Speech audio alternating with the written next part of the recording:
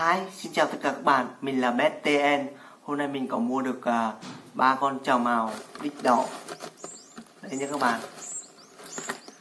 À, 3 năm trước thì mình nuôi rất nhiều trào màu.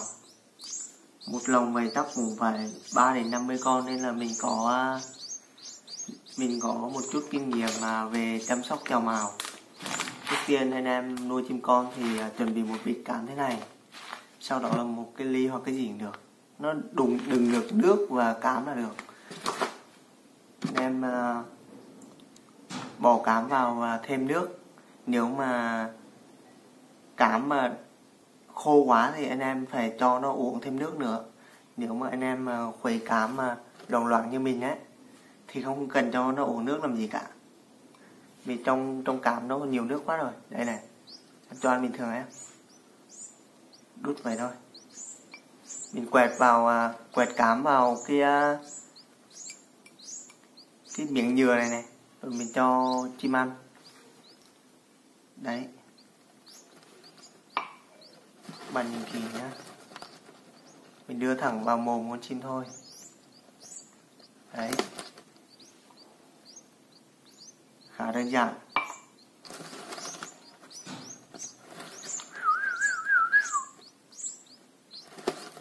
Cái này thì mình cho ăn vừa phải thôi nha các bạn.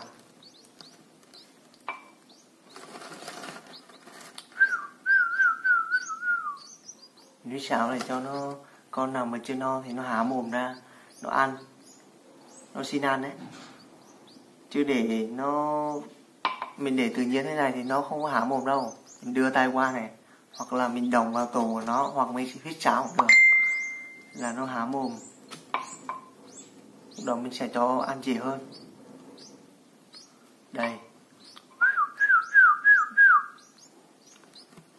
Các bạn xem đừng quên à, like, đăng ký kênh ủng hộ mình nha. Cảm ơn các bạn đã ghé kênh của mình xem.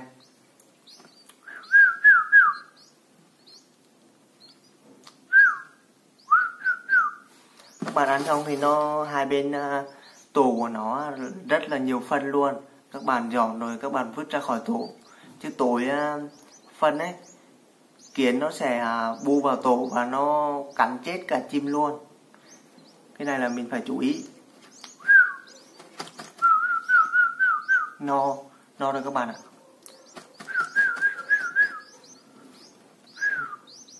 Các bạn chỉ cảm này á, một lần thì chỉ ít thôi. Chỉ dư quá thì đổ phí.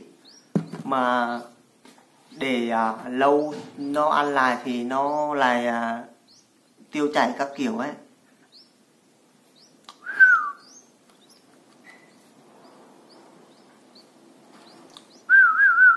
Tốt nhất là pha vừa đủ pha vừa đủ cám cho nó ăn chứ đừng có để nó dư. Đây nha các bạn. Nó no rồi các bạn ạ.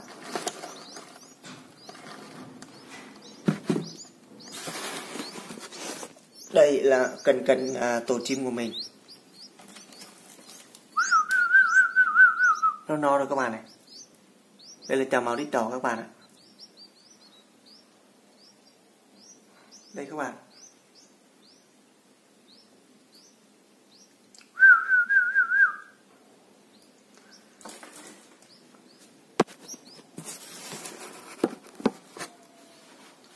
Rồi xong đó là những kinh nghiệm mà mình biết, mình chia sẻ cho các bạn xem. Nếu các bạn xem thấy hay thì đừng quên like, đăng ký kênh ủng hộ mình. Hẹn các bạn ở những video tiếp theo. Tạm biệt.